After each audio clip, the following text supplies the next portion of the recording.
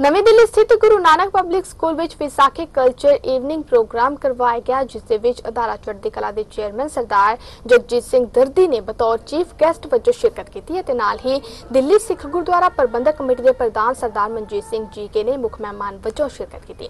ਇਸ ਪ੍ਰੋਗਰਾਮ ਦੇ ਵਿੱਚ ਪੰਜਾਬ ਦੇ ਸੱਭਿਆਚਾਰ ਨੂੰ ਬਖੂਬੀ ਵਿਖਾਇਆ ਗਿਆ। ਸਰਦਾਰ ਜਗਜੀਤ ਸਿੰਘ ਦਰਦੀ ਨੇ ਇਸ ਪ੍ਰੋਗਰਾਮ ਦੀ ਬੇਹੱਦ ਸ਼ਲਾਘਾ ਕੀਤੀ ਅਤੇ ਮੈਨੇਜਮੈਂਟ ਕਮੇਟੀ ਦੀ ਵੀ ਤਾਰੀਫ ਕੀਤੀ। ਇਸ ਦੌਰਾਨ ਸਰਦਾਰ ਜਗਜੀਤ ਸਿੰਘ ਦਰਦੀ ਨੂੰ ਮੈਨੇਜਮੈਂਟ ਕਮੇਟੀ ਵੱਲੋਂ ਸਨਮਾਨਿਤ ਵੀ ਕੀਤਾ ਗਿਆ।